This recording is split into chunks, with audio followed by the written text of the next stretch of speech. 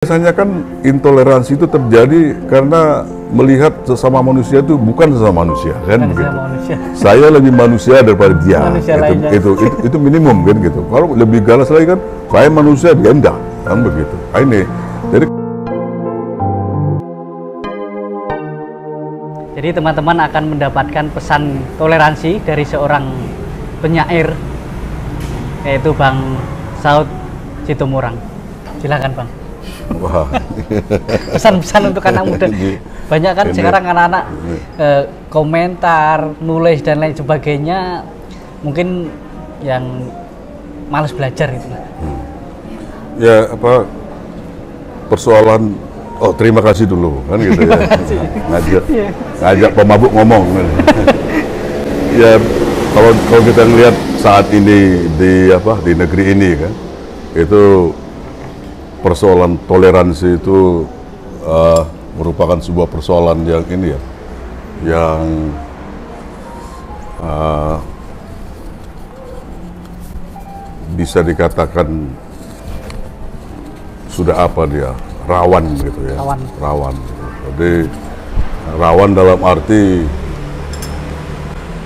toleransi itu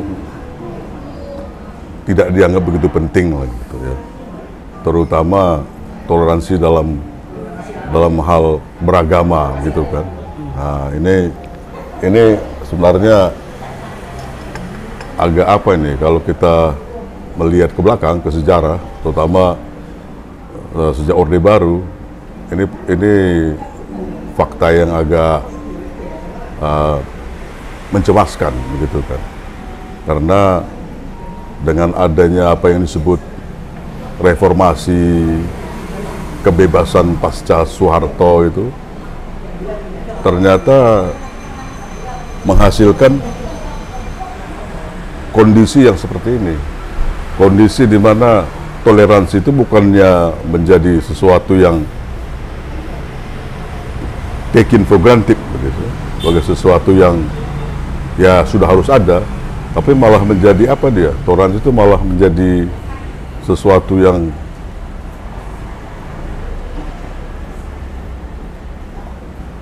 nyaris tidak dihargai.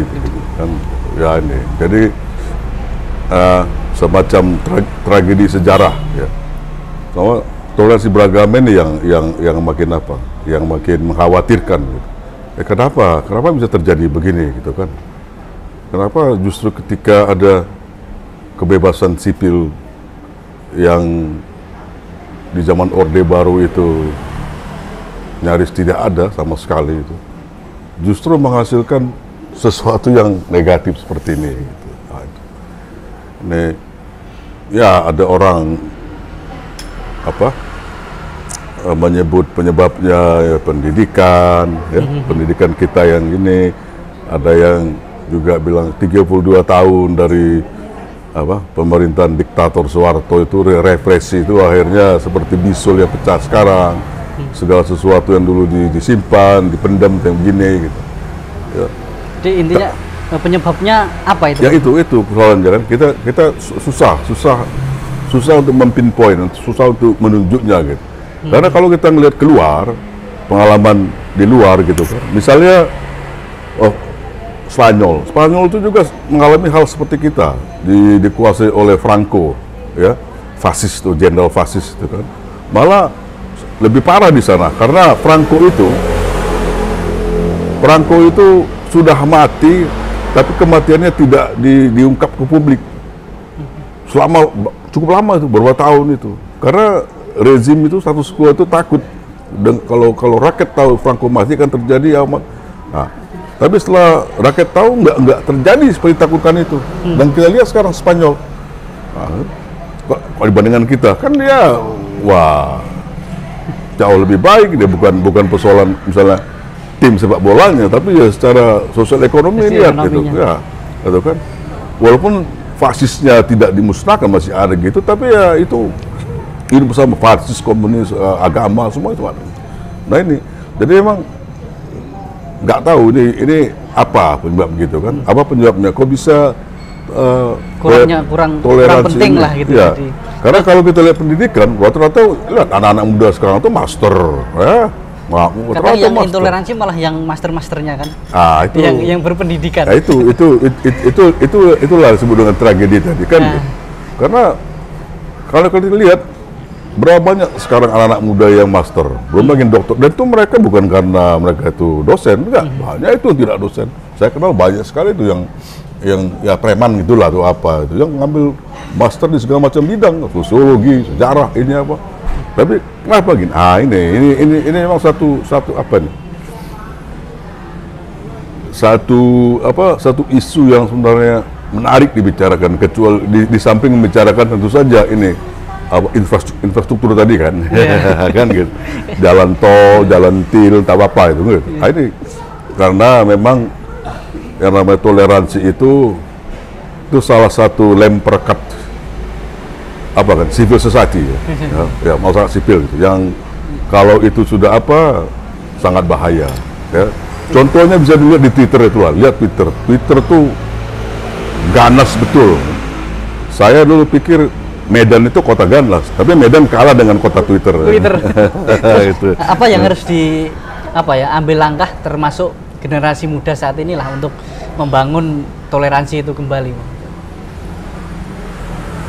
Nah, ini agak agak susah karena kalau berdasarkan pengalaman pribadi saya bisa aja saya jawabnya tapi kan pengalaman pribadi saya itu apa eh, tidak bisa juga menjadi standar bagi ini ya bagi mereka gitu ya. Hmm, pada Wah, umumnya lah. Ya, kalau saya misalnya, ya ha- pertama ya memang harus berani bersikap, gitu ya. Nah, dalam konteks misalnya memilih, begitu, apa, memilih. Jadi kita tidak harus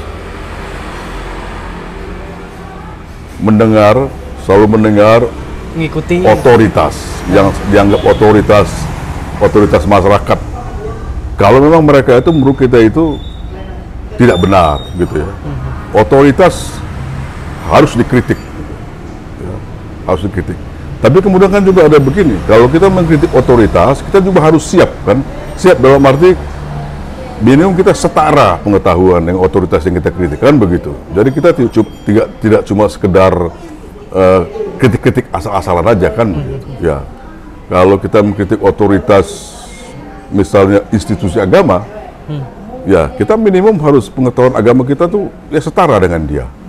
Jadi waktu meng- mengkritik itu atau mengcounter pendapatnya itu kita tidak ngasal gitu. Tidak. Ah ini.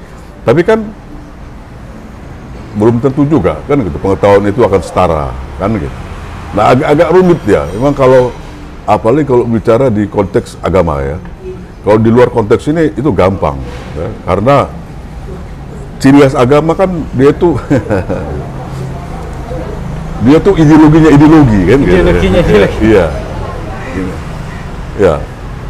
Kalau misalnya ya kayak pengalaman saya juga gitu ya. Saya kan dulu saya menjadi Kristen kan karena keluarga Kristen, soalnya begitu. Ya.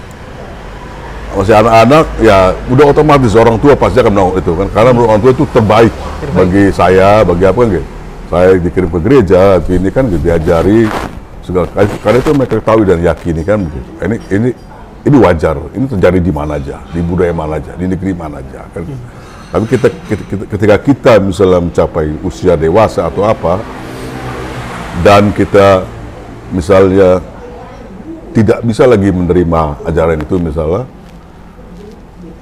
nah kalau saya bilang tadi saya saya berani memutuskan ya saya tidak bisa menerima saya akan melakukan sesuatu untuk itu kan begitu Memilih. tapi ya tapi kan tidak tidak banyak orang yang akan berani seperti ini karena mungkin cengkeraman dari apa tadi itu begitu kuat sehingga ada, ada takut takut jadi anak terkutuk Nih. takut masuk neraka kan gitu. Jadi hal-hal seperti itu ya itu wajar saja karena memang saya bilang tadi kalau dalam konteks agama itu ideologinya ideologi itu itu, itu lebih lebih lebih gawat daripada liberalisme gitu kan marxisme atau isme-isme atau atau lain. anarko gitu kan ya nah ini nggak nggak tahu tapi mungkin karena dia berhubungan dengan sesuatu yang bersifat religius ya, spiritualitas, sesuatu yang di luar saat sekarang gitu.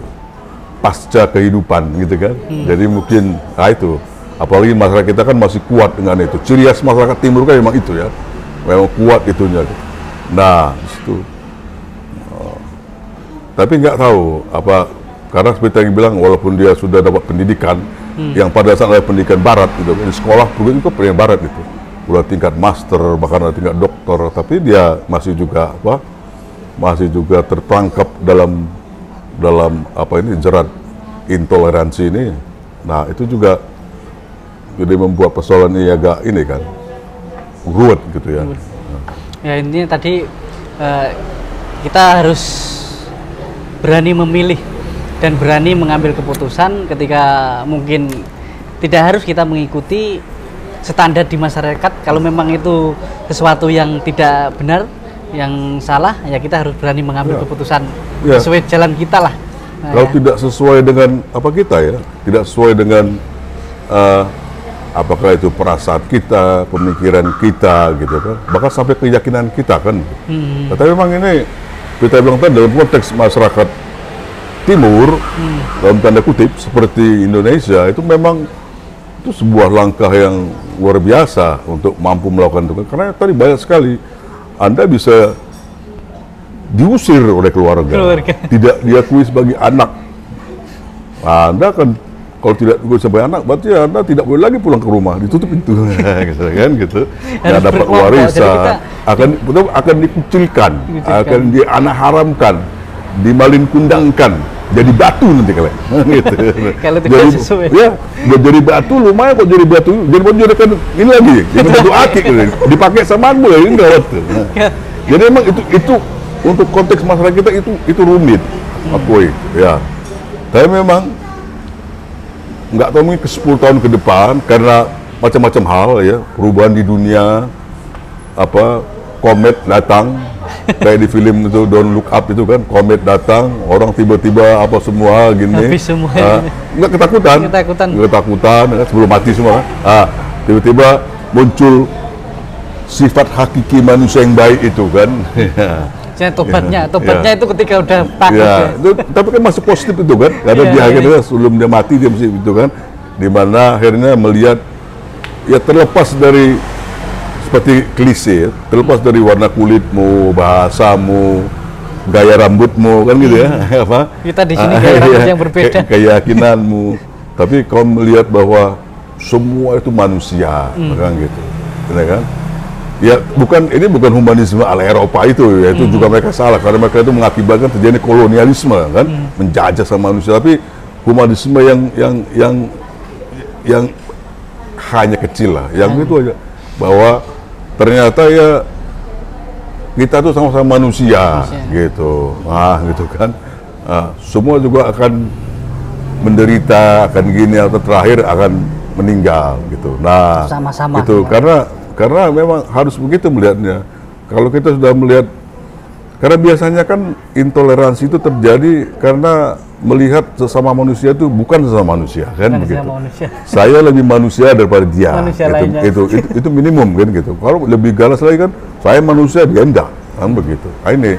Jadi kalau sudah sampai ke situ itu pasti toleransi itu akan muncul dan kuat. Ya kapan ini terjadi mungkin yang tahu ini cuma Denny Siregar Oke, teman-teman, terima kasih Bang Saud uh, pesan-pesan dan sharingnya, ya, terutama untuk kalangan anak muda. Ya, jadi di sini kita harus berani mengambil keputusan, berdewasalah dan berbijaklah dalam menjalani hidup. Hidup untuk menghidupkan, bukan memanfaatkan kehidupan. terima kasih